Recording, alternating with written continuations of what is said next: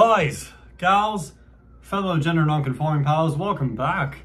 I'm C28, and it's time for the fifth vlog.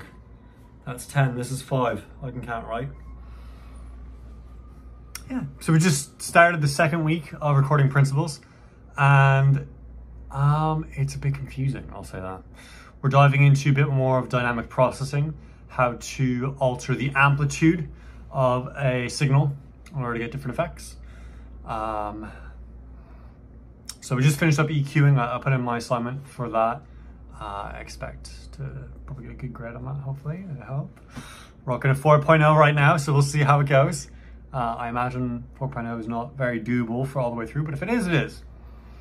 Enough on that. Um, so today in lab, we were going over uh, more of the patch bay on a console, and we were adding effects such as um, EQing, we were adding reverb, we were adding compressor, we were sh showing how these um, modules interact with the audio and then thus your sound. Uh, we also did different uh, setups for miking. So we started uh, miking and doing vocals and then sending the audio back to the person hearing it so they can hear themselves. Um, how to do that without delay. So you'd want to send it from the small fader, not the large fader, or the master fader, because you're going to have all that processing, which will give you delay. So you want to give them the raw sound of what they're actually saying. They may not need to hear the compressor.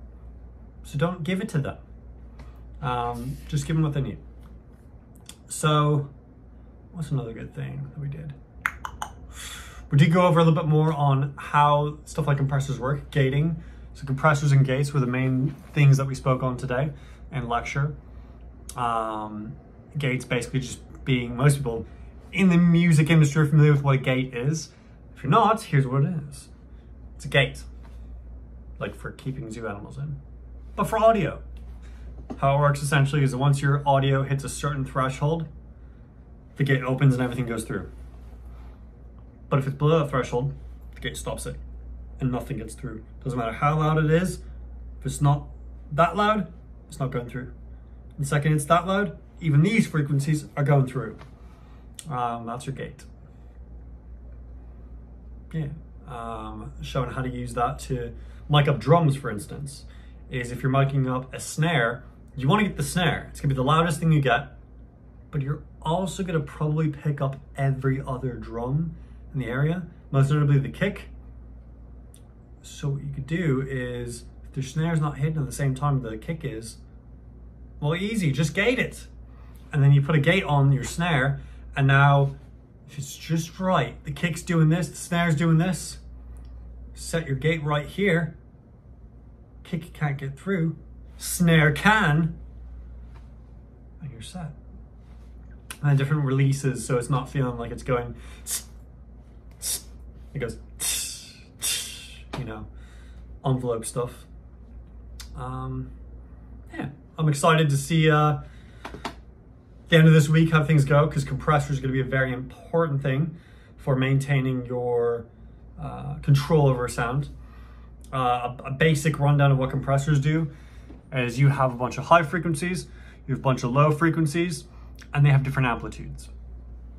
Compressors are going to take your low sounds, so low decibel count, and your high sounds, high decibel count, and push them so they get everything compressed about the same. Um, and on the opposite of that, you have, you have an expander. It makes loud louder, soft softer. Um, compressors do the opposite to make everything the same. And it's said to be a difficult thing to hear, but I think I hear it pretty well. You can hear, you can almost feel it too, like in your ear. It's not a thing you um, hear but you physically feel inside your ear, like the difference of it. And, and it's just tighter. It makes it tighter. Feels like if you let go, it's gonna explode. It's just tighter. And that helps you squeeze things in where they belong in the mix. But yeah, that's the uh, beginning of week two. I will shoot you the update at the end of the week, tell you how things went during this week. But that's what we got look look that's what we have to look forward to. I will uh, certainly post another vlog if anything major happens between that time. But if it doesn't, just like last week, I'll see you in a few days. So, take care of yourselves. God bless. Take care. Bye.